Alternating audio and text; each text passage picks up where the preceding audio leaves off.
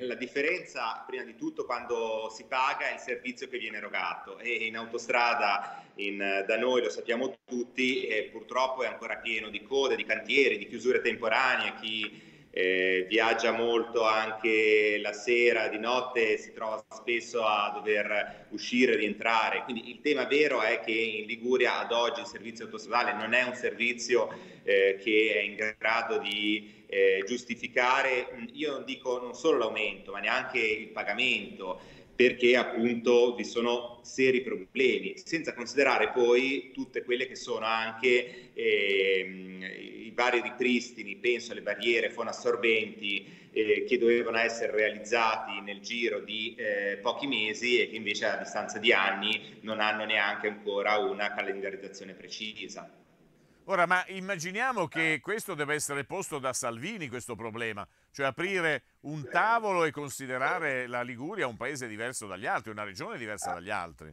Ma penso di sì, che ci siano almeno due tavoli. Il primo è sicuramente quello eh, che deve essere fatto al, ministro, al, Ministero delle Infrastrutture. Non dimentichiamoci che eh, lo Stato è entrato dentro ASPI e quindi oggi ha anche come dire, una voce più forte nel poter parlare. Il secondo penso che eh, debba essere fatto anche a livello di enti locali. C'è stato secondo me un eh, accordo di ristoro mh, sbagliato, quello proposto da eh, Comune Autorità Portuale, perché ricordiamoci che eh, c'era non solo mh, non l'aumento, ma c'era l'esenzione totale prevista fino al 31 dicembre 2031 e quindi non avremmo dovuto pagare eh, quelli che erano i pedaggi su tutta la 10, ma c'è stato questo accordo previsto appunto da eh, Comune Autorità del Sistema Portuale che hanno chiesto di usare queste cifre che servivano per l'esenzione per fare altre opere, tra cui quella del tunnel, che come dire, è un'opera molto complessa e, e che vedremo oh, chissà quando. Ora, io credo che non eh, sarebbe stato più corretto mantenere un'esenzione totale dei pedaggi autostradali fino al 2031.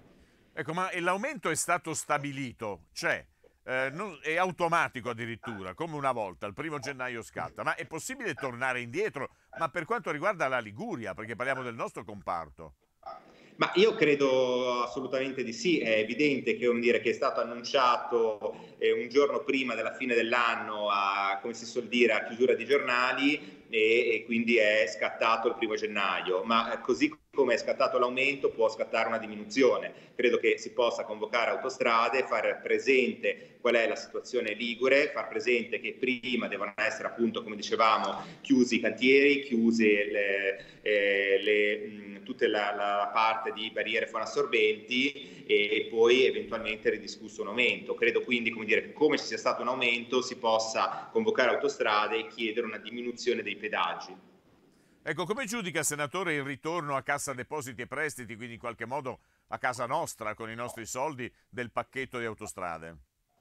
Ma eh, guardi, io eh, credo che eh, non credo che sicuramente non potevano le autostrade rimanere ai Benetton e questo era chiaro ed evidente, mi preoccupa molto le voci che ogni tanto si sentono di possibilità di ritorno, ma eh, non è soltanto una questione simbolica, credo che sia anche un messaggio molto chiaro quando eh, c'è una tale fatalità, un tale errore, la mancanza di manutenzione, chi aveva eh, l'onere di gestire quell'infrastruttura da parte dello Stato non può più avere altre infrastrutture. Le concessioni pubbliche devono essere molto serie in questo senso. E il fatto che lo Stato sia intervenuto eh, per anche farsi carico e quindi di entrare all'interno eh, di società autostrade può essere stata anche una necessità, credo però che questo comporti ancora di più un senso di responsabilità nel garantire però che ai cittadini eh, vengano appunto ehm, garantite condizioni diverse. Noi non possiamo continuare ad avere eh, una società autostrade che non è in grado di garantire i servizi, che non è in grado di eh, garantirci quando partiamo di casa a una certa ora l'orario in cui potremo arrivare.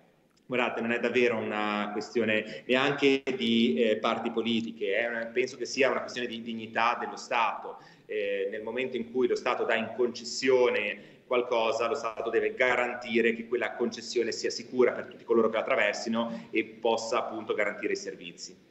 Ma tra l'altro a Roma devono sapere che da quattro anni e quattro mesi noi viviamo una condizione di assoluta inferiorità. Si è tranciato il cordone ombelicale con l'Italia e con il mondo, parliamo di noi, eh, comuni, gente comune, ma gli autotrasportatori, il costo del trasporto si riversa poi tutto sulle nostre tasche.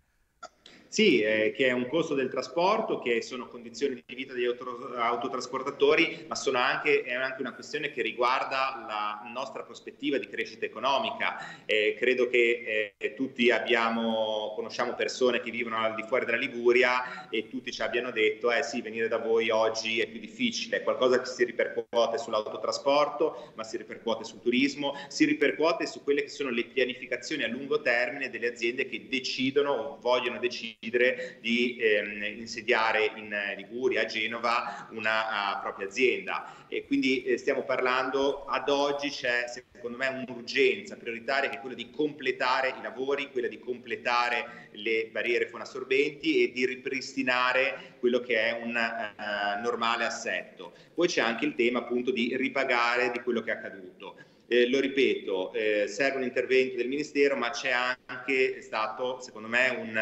errore di valutazione nel concordare con Autostrade la uh, fine della gratuità dei pedaggi che era prevista fino al 2031.